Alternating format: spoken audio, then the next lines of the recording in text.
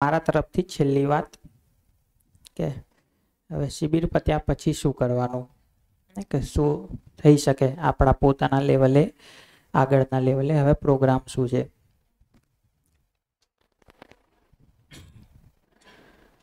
તો મૂળ વાત તો જોઈએ તો આખી એટલી જ છે કે વ્યવસ્થાની સમજણ અને વ્યવસ્થામાં જીવવું.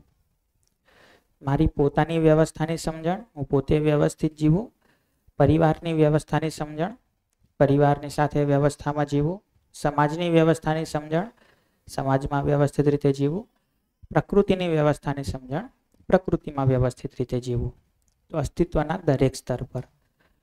વ્યવસ્થા શું છે એ સમજવું અને એ વ્યવસ્થામાં ભાગીદારી કરવું. એ વ્યવસ્થામાં હું વ્યવસ્થિત રીતે જીવું. આ કામ કઈ રીતે કરીશું? તો એના માટે આટલી વાત છે. મુખ્ય રૂપે જોઈએ કે શિબિર પછી શું કરી શકાય? તો ત્રણ કામ છે જે કરી શકાય. પહેલું, સ્વયંમાં ચકાસણી. તો પ્રસ્તાવોને પોતાના અધિકાર પર ચકાસવા. તો અહીંયાથી જે કંઈ પ્રસ્તાવો આપવામાં આવ્યા છે, એવું નથી કે શિબિર દરમિયાન જ આ ખાલી જાણવાની કામ, જાણવાની પ્રક્રિયા કરવાની હતી. હવે તો બધું માનીને ચાલવાનું. હજી જે કંઈ છે બધાને ચકાસતા રહીએ કે ખરેખર મને આવું જ લાગે છે કે કેમ? તો જેમ કે એક પ્રસ્તાવ છે કે સુખ છે એ મારા ભાવ વિચારની વ્યવસ્થા છે. એ બહારથી કંઈક થતો પ્રભાવ નથી. સુખ છે એ આવેશ નથી. સુખ છે એ મારી સ્વાભાવિક સ્થિતિ છે. તો આ પ્રસ્તાવોને ચકાસતા રહીએ. કે ખરેખર સુખ એને જ કહીશું કે કોઈક જાતનો આવેશ આવે, બહારથી કંઈક મળી જાય, એને સુખ કહીશું? તો સાચી સમજણ શું છે? વ્યવસ્થાના ભાવ અને વિચાર શું છે? અને પરસ્પર પૂરક વ્યવહાર કાર્ય અને વ્યવસ્થામાં ભાગીદારી શું છે? આ બધી વાતોને પોતાનામાં ચકાસતા રહીએ. પોતાનામાં મનન કરતા રહીએ. જાણતા રહીએ એને. એને વારંવાર વાગોડતા રહીએ. એના માટે જે કંઈ અહીંયાની નોટ્સ તમે બનાવી હોય એ આ પીપીટી જ્યારે તમને મળે ત્યારે એ કે બીજાઓ સાથે ગોષ્ઠી કરો એ. એ બધી રીતે વારંવાર આ વાતો રિમાઇન્ડ થતી રહે અને એને પોતાનામાં ચકાસતા રહીએ કે મને આ જ સાચું લાગે છે કે બીજું કંઈ સાચું લાગે છે. એક તો કામ એ છે. બીજું, સૌથી મહત્વનું કામ છે સ્વયંમાં સજગતા. સ્વયંમાં સજગતા. સજગતા સજગતા. આ શું છે? ઓરિજિનલ હિન્દી ઇંગ્લિશ જ હતું. આ તો અહીંયાની શિબિર માટે ફટાફટ ગુજરાતી કર્યું છે. એટલે ક્યાંક ક્યાંક ભૂલો રહી ગઈ છે. તો પોતાના પ્રત્યે સજગ રહેવું, સજગતા. પોતાના પ્રત્યે સજગ રહેવું એટલે શું? તો સજગતા છે.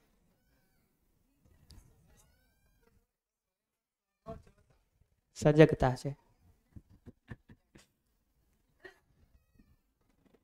આ ગ ના બદલે ખાલી હ લખાઈ ગયો છે, એટલું જ છે. તો પોતાના પ્રત્યે સજગ રહેવું કઈ રીતે? તો મારી કલ્પનાશીલતામાં શું ચાલી રહ્યું છે, એના ઉપર ધ્યાન આપવું. તો શું કરવાનું મન થાય છે? હું શું કરી રહ્યો છું? શું કરી રહી છું? આવું કરવાનું મન કેમ થાય છે? આવો વિચાર કેમ આવ્યો? આની પાછળ કોઈ માન્યતા છે? કોઈ સંવેદના છે કે સમજણ છે? હે ને? તો પોતાના દરેક કાર્ય વ્યવહાર પહેલાં પોતાનામાં જે કંઈ ચાલે છે, એનો સોર્સ શું છે? પોતાના ઈચ્છા વિચાર આશામાં, પોતાની કલ્પનાશીલતામાં જે કંઈ ચાલે છે, એ શું ચાલી રહ્યું છે અને એનો સોર્સ શું છે?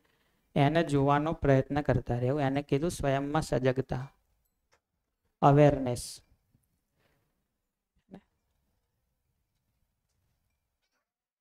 તો એ બહુ જ મહત્વનું કામ છે.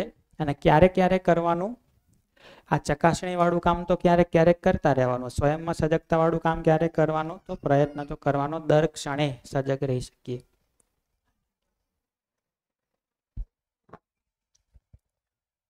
કારણ કે સવારથી સાંજ સુધી તમારી કલ્પનાશીલતા ઠીક ચાલી, બધું વ્યવસ્થિત ચાલ્યું.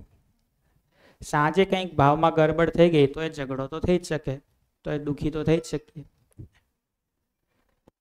તો દરેક ક્ષણે આ સજગતા પોતાનામાં બનેલી રહે એવો પ્રયત્ન કરીએ. અને ત્રીજું એ પણ સૌથી મહત્વનું છે પોતાની કલ્પનાશીલતા ઉપર જ્યારે પણ ધ્યાન આપીએ ત્યારે પોતાનું મૂલ્યાંકન પણ કરીએ કે મારી યાત્રા કેટલી થઈ, કેટલી બાકી છે. સાચું સાચું મૂલ્યાંકન પોતાનું કરતા રહીએ. કે કેટલે પહોંચ્યા? હજી શું ખામીઓ છે?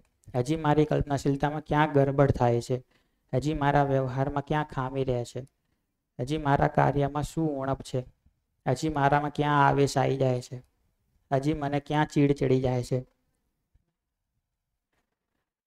તો પોતાની અત્યારની સ્થિતિ શું છે? એનું મૂલ્યાંકન પણ કરતા રહીએ. તો ત્રણ કામ થયા. શું થયા? પહેલું કે જે કંઈ કન્ટેન્ટ છે, જે કંઈ આ પ્રસ્તાવો છે, એને યાદ કરતા રહીએ, એને ચકાસતા રહીએ, વારંવાર એને મનમાં લાવતા રહીએ, એના પર વિચાર કરીએ. આ જ સાચું લાગે છે કે બીજું કંઈ સાચું લાગે છે એ ચેક કરતા રહીએ. બીજું, પોતાની કલ્પનાશીલતામાં જે કંઈ ચાલે છે, એને જોતા રહીએ. કે એમાં જે કંઈ ચાલે છે, એ શું છે? એ મને સહજ સ્વીકાર્ય છે કે માન્યતાઓના આધારે ચાલે છે, કે સંવેદનાઓના આધારે ચાલે. તો મારા જે કોઈ વિચારો જ આવે છે, હું જે કંઈ નિર્ણય લઉં છું, જે કંઈ કરવા માગું છું, એ બધું શેના આધારે? સમજણના આધારે કરવા માગું છું? કે માન્યતાઓના આધારે? કે સંવેદનાઓના આધારે? એ ચકાસતા રહીએ. અને ત્રીજું, કે કલ્પનાશીલતાને જોઈએ, એની સાથે પોતાનું મૂલ્યાંકન પણ કરીએ, કે હાલ મારી સ્થિતિ શું છે? હજી કેટલું કામ કરવાનું બાકી છે? ક્યાં ક્યાં કામ કરવાનું છે? તો મૂલ્યાંકન કરશું, એમાં જોઈશું કે હું અત્યારે જેવો છું કે જેવી છું એ મારી યોગ્યતા મને દેખાશે કે હાલ મારી શું સ્થિતિ છે. અને આ પ્રસ્તાવને જેટલા ચકાસીશું, એટલો ખ્યાલ આવશે કે વાસ્તવમાં મારી સહજ સ્વીકૃતિ શું છે? મારે ક્યાં પહોંચવું છે? તો આ પ્રમાણે આ જેટલું જેટલું થતું જશે, એટલું આપણે પોતાનામાં આરામ, પોતાનામાં એક શાંતિ મહેસૂસ કરીશું. ખ્યાલ આવે છે?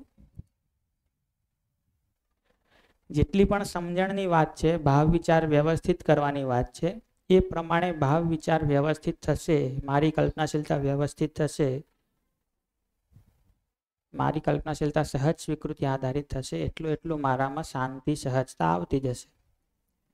એટલા એટલા આવેશો ઓછા થતા જશે નેગેટિવિટી ઓછી થતી જશે એક્સાઇટમેન્ટ ઓછી થતી જશે અને સુખની સ્થિતિ વધતી જશે.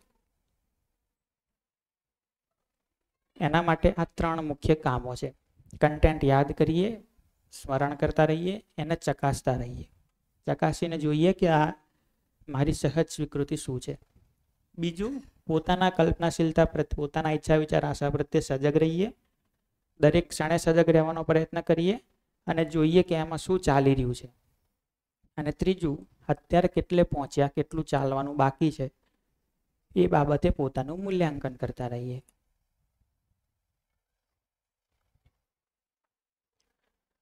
અને તમે આજથી આ કામ ચાલુ કરશો અને દર ક્ષણ આ કામ કરતા રહેશો.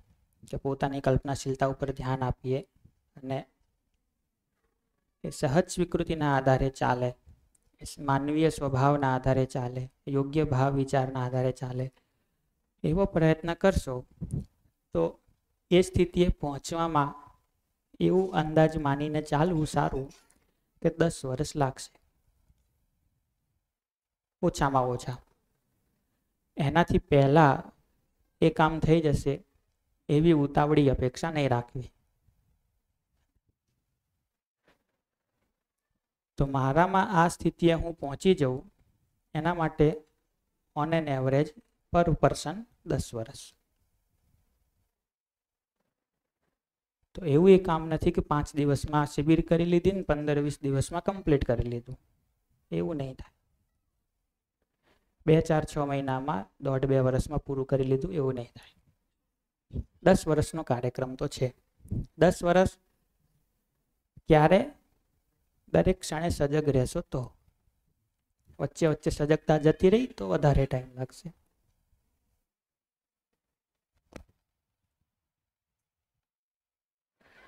તો આ છેલ્લે છેલ્લે તમને ડિમોટિવેટ નહીં કરતો.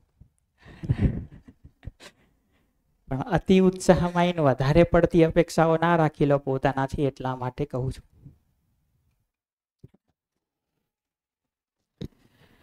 કે દસ વર્ષ તો માનીને ચાલવા. દસ વર્ષ તો લાગશે. આજથી કામ ચાલુ કરશો અને દરેક ક્ષણે સજગ રહેશો પોતાની કલ્પનાશીલતા પ્રત્યે. દરેક ક્ષણે શું ચાલે છે જોયા કરશો તો દસ વર્ષ વચ્ચે સમય ચૂકાતો રહ્યો તો થોડો વધારે ટાઈમ લાગી જશે. અને તમે બહુ નિષ્ઠાથી કામ કર્યું તો કદાચ સાત આઠ વર્ષમાં પૂરું કરી દેશો, પણ એનાથી વધારીને તો બહુ અપેક્ષા નહીં રાખ. એટલો સમય તો લાગશે જ લાગશે. કે કેટલા વર્ષોની માન્યતાઓ લઈને બેઠા છીએ. કેટલો બધો કચરો લઈને બેઠા છીએ. કેટલા જન્મોની માન્યતાઓ લઈને બેઠા છીએ. એ દસ વર્ષમાં બધું સાફ થતું હોય તો એ બહુ ઝડપી કહેવાય. કહેવાય? તો દસ વર્ષ આ કામને લઈને પોતાના ઉપર ડેડિકેટેડ કરવા જોઈએ, આવું મારું માનવું છે.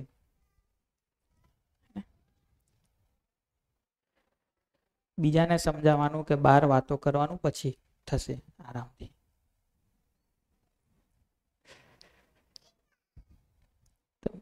મારી પોતાની વાત કરું તો થોડું વહેલા ચાલુ કરી દીધું છે શિબિર લેવાનું, પણ આઠ વર્ષ તો થયા. લગભગ સાતેક વર્ષ સુધી તો કંઈ નહોતો કરતો, શિબિર લેવાનું કે બીજાને સમજાવવાનું. એટલો ટાઈમ તો ફૂલ પૂરા ડેડિકેશનથી પોતાના ઉપર જ કામ કર્યું. કરવું જ પડશે. શોર્ટકટ કોઈ નથી. એક બે વર્ષમાં પોતે બરાબર સમજી લઈએ અને ત્રીજા વર્ષથી બધાને કહેવાનું ચાલુ કરી દઈએ, એવું નહીં થાય. તમને લાગે કે બહુ ટાઈમ લાગશે દસ વર્ષમાં તો? કઈ રીતે કરી લઈશું? તો એનું કેલ્ક્યુલેશન કરીએ. ચલો.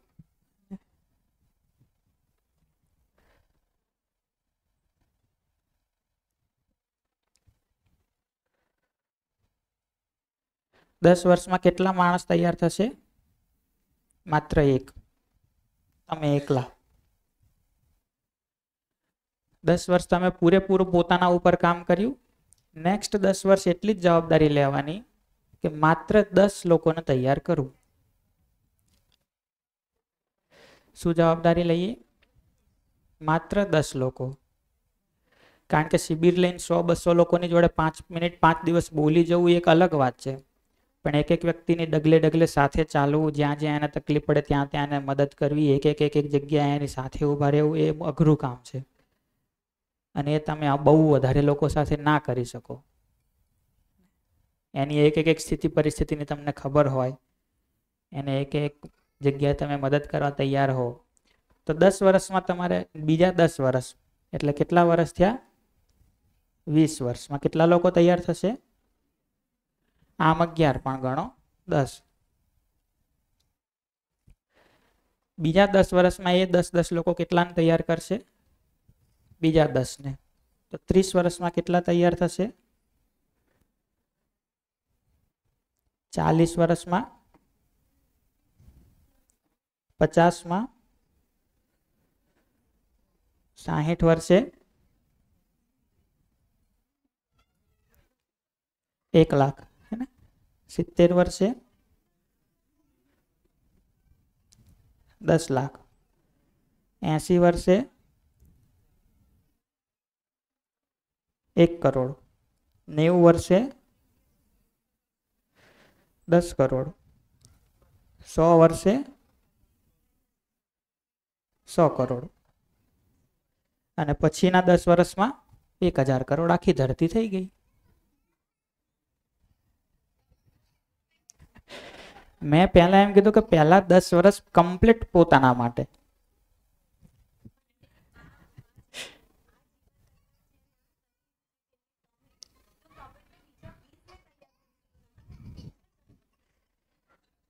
એ બધું ત્યારે જ વિચારાય, જ્યારે પહેલા પોતાના ઉપર કામ કર્યું હોય બરાબર.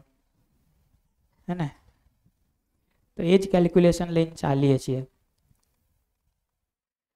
કે જો આ દસ વર્ષમાં એક વર્ષ, તો પછીના સો વર્ષ થતા થતા ઉજીમાં લગભગ એક હજાર કરોડ. એટલા તો હાલ છે નહીં.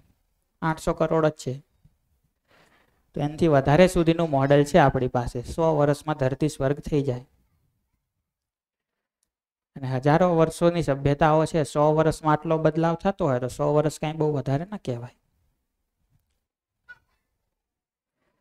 પણ પહેલી શરત શું? આ કામ દસ વર્ષ પોતાના માટે.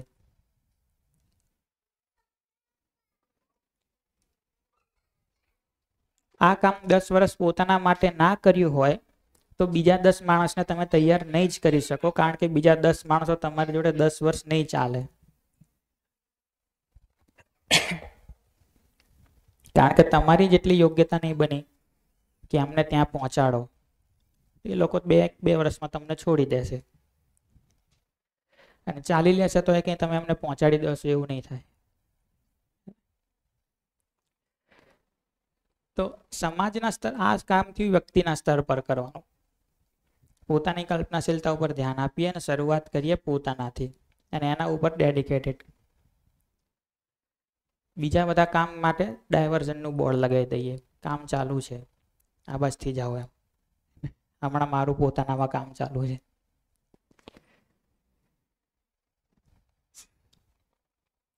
સમાજના સ્તર પર જોઈએ તો આ જે લોક શિક્ષા કાર્યક્રમ છે, જે હાલ આપણે કરીએ છીએ, એક જાતનો લોક શિક્ષા કાર્યક્રમ જ છે ને?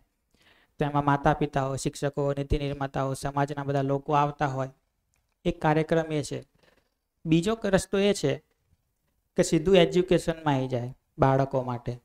સીધું સિલેબસમાં આવી જાય, શિક્ષકોમાં આવી જાય અને એને ભણાવવા માટે. ત્રીજો રસ્તો એ છે કે સમાજના જેટલા પણ અત્યારે કામ કરવાવાળા સમાજના લોકો છે, બધામાં એક સાથે પહોંચતું થઈ જાય સમાજના દરેક આયામમાં. તો આ ચારે લેવલ ઉપર એક સાથે કામ ચાલુ થઈ જાય. તો એક કેલ્ક્યુલેશન એવું છે કે આ કામ કરવા માટે સો વર્ષ લાગશે આ રસ્તેથી.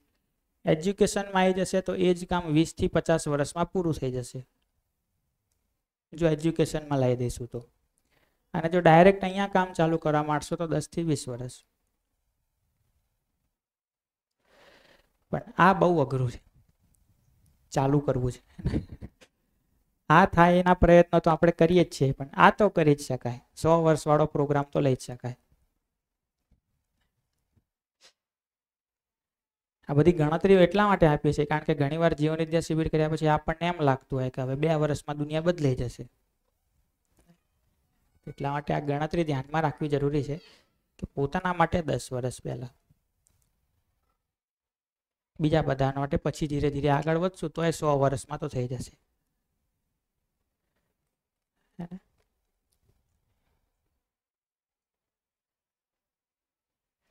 તો પોતાના માટે દસ વર્ષ ને એ પછી ખાલી દસ જ માણસોને જવાબદારી લેવાની છે. પછી એ બહુ વધારે મોટા કાર્યક્રમોની જરૂર નથી.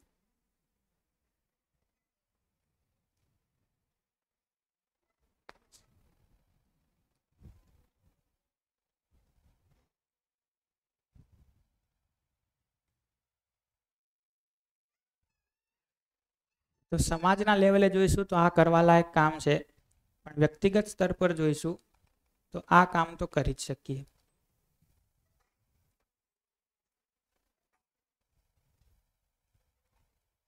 હા માઇક આપજો. બાજુમાં જ બાજુમાં જ.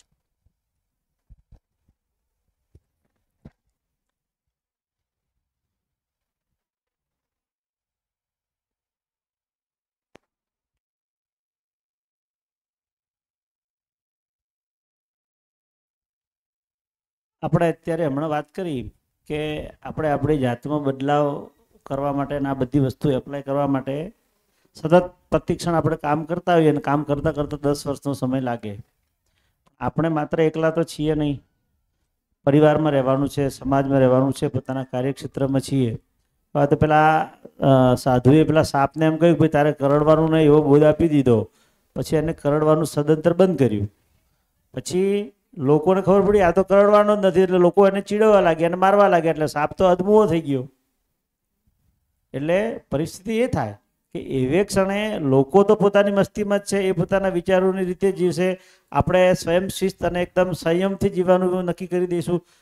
એવે વખતે કોન્ટ્રાસ્ટ થશે, લોકો વખતે અને આપણી વચ્ચે.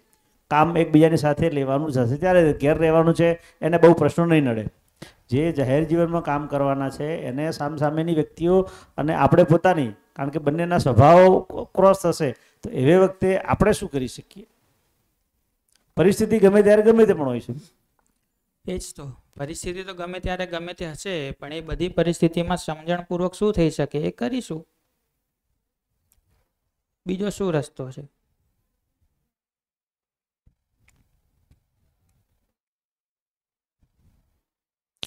અને ક્યાંકથી તો શરૂઆત કરવી જ પડશે. તમે એવી રાહ જોશો કે દુનિયા બદલાઈ જશે, પછી હું બદલાવું, તો ક્યારે મેળ પડશે?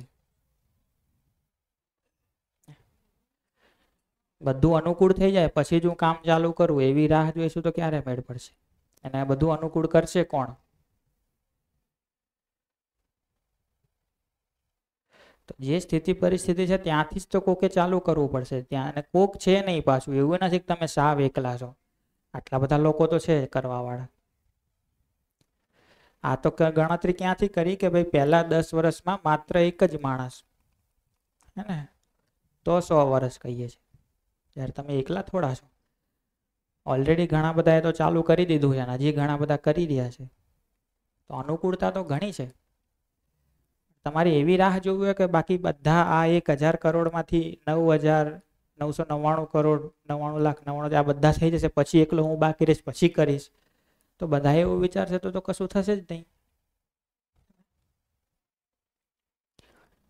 તો જે સ્થિતિ પરિસ્થિતિ છે ત્યાંથી જ શું થઈ શકે હવે? અને મારી કેટલી અનુકૂળતા છે? એને લઈને ચાલવું પડશે.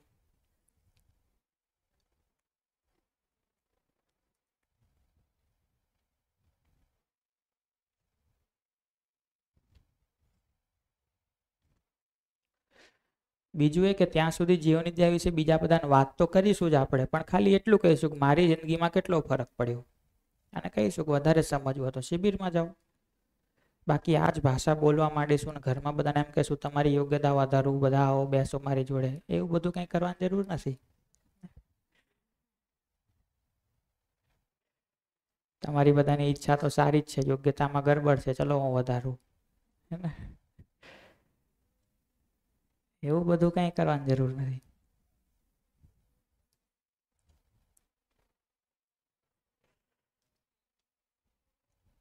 તો આ જ ભાષામાં વાતો કરવી આ જ બધા શબ્દો બોલવા એવું કંઈ જરૂરી નથી. કામ ચાલુ થાય પોતાના ઉપર, એ જરૂરી છે. પૂરી નિષ્ઠાથી ચાલુ થાય કામ પોતાના ઉપર. એ જરૂરી છે.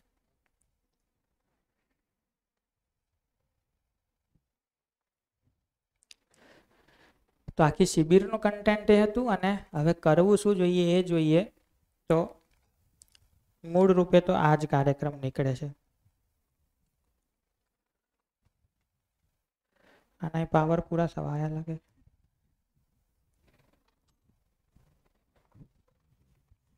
બસ હવે નહીં જોઈએ. મૂળ કામ તો આ જ છે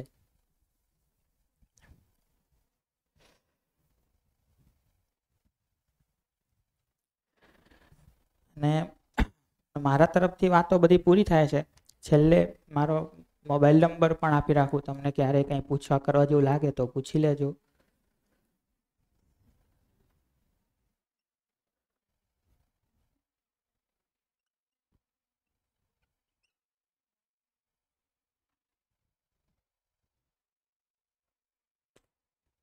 અઠ્ઠાણું સાત, અઠ્ઠાણું, દસ, નવસો બાણું.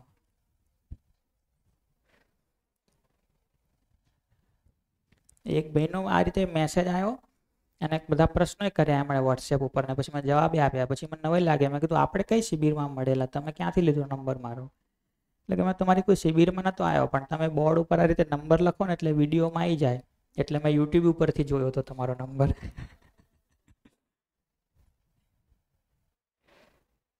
તો આમ તો જુઓ તો ગમે ત્યારે વાત કરી જ શકીએ આપણે, પણ તોય પહેલાં વોટ્સએપ કરી લેશો તો સારું રહેશે, કે જેથી ટાઈમ નક્કી કરી લઈએ કે ક્યારે વાત કરવી. ને બીજું એ પણ કે કંઈ પોતાનાને લગતા પ્રશ્નો હોય, સ્વયંમાં સુધારને લગતા, તો વધારે સારું રહેશે વાત કરવું. બાકી તો પ્રશ્નો ઘણા છે, વાત તો ખૂટશે જ નહીં.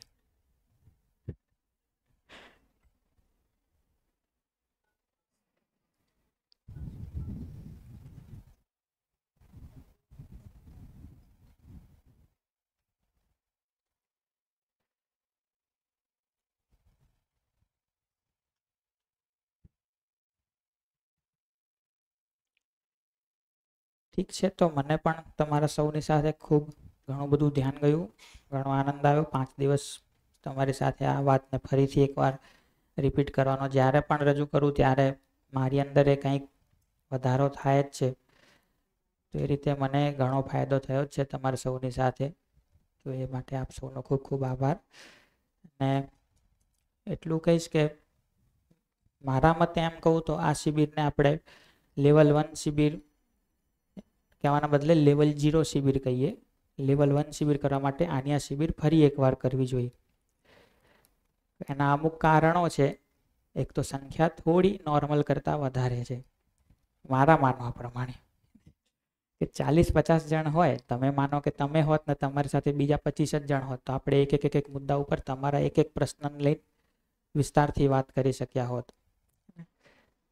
મેં તો એક શિબિર એવી પણ અટેન્ડ કરી હતી કે જેમાં ખાલી આઠ શિબિરાર્થી હતા અને શિબિર આઠ દિવસ ચાલી હતી. તો એક હું મારી સિવાય સાત જણા.